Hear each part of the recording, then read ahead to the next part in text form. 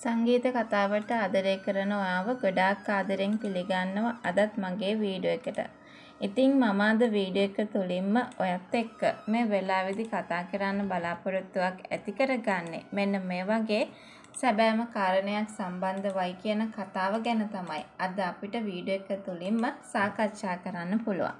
ඉතින් කල්නට වෙන කවුරුත් නොසිතූ දේ ගැන තමයි අපිට අද වීඩියෝ එක තුලින්ම සාකච්ඡා කරන්න පුළුවන්. ඉතින් වීඩියෝ එකට යන්න කලින් ඉල්ලනවා මෙවැනිම වීඩියෝ සමග සහසම්බන්ධ වෙන්න ආසාවක් තියෙන කෙනෙක් නම් එහෙනම් අනිවාර්යයෙන්ම මගේ channel එක subscribe කරලා මාත් එක්ක එකතු වෙන්න කියන අපූර්ව කතාව ගැන තමයි අද වීඩියෝ එක හරහා මතක් කරන්නට අපි බලාපොරොත්තුවක් තියාගන්නේ.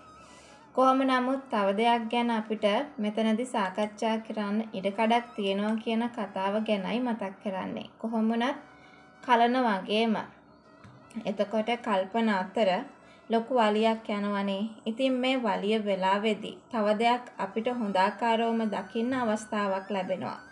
කවුරුත් මේ වගේ දෙයක් වෙයි කියලා ඇත්තටම විශ්වාස කරන්නවත් නැති දෙයක් විදියට තමයි මම අද වීඩියෝ එක තුලින් ආව දැනුවත් කරන්නට උත්සාහ කරන කාරණාව වෙන්නේ කියන කතාව අද වීඩියෝ එක හරහා මතක් කරන්නට කැමැත්තක් ඇති කරගන්නවා. ඉතින් තව දෙයක් ගැන අපිට මෙතනදී සාකච්ඡා කරන්න පුළුවන්. ඒ මොන වගේ දෙයක් කියලාද අපි හැමෝටම කතා කරන්නට සිද්ධ වෙන්නේ කියන කතාව අපි මතක් කර සිටිනවා. කොහොමනත් අපිට තවත් දෙයක් කියන්න පුළුවන්කමක් ලැබෙනවා කියන කතාව ගැන අද වීඩියෝ එක තුලින්ම සාර්ථකව කතා කරන්න පුළුවන්. ඉතින් ඇත්තටම කියනවා නම් කල්නත් නොහිතන වෙලාවක කල්නට මේ වෙලාවේ ගුටි කන්න සිද්ධ වෙනවා.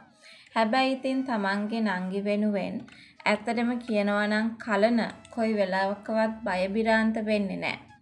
තමන්ගේ නංගි වෙනුවෙන් තමන් කරන්න ඕන දේවල් අනිවාර්යයෙන්ම කරන්න ඕනේ. තව කාටවත් බය වෙලා ඉඳලා තේරුමක් නැහැ කියන කතාව ගැන තමයි අපිට මෙතනදී සාර්ථකව කතා කරන්න පුළුවන්කමක් ලබා ගන්නේ. කොහොම වුණත් තව දෙයක් ගැන අපි මෙතනදී සාර්ථකව කතා කරනවා. මේ දේවල් අපිට විශේෂයෙන් කතා කරන්න තියෙන දේවල්. කොහොම වුණත් ඔයා දන්නවද මෙන්න මේ වගේ කාරණාවක්.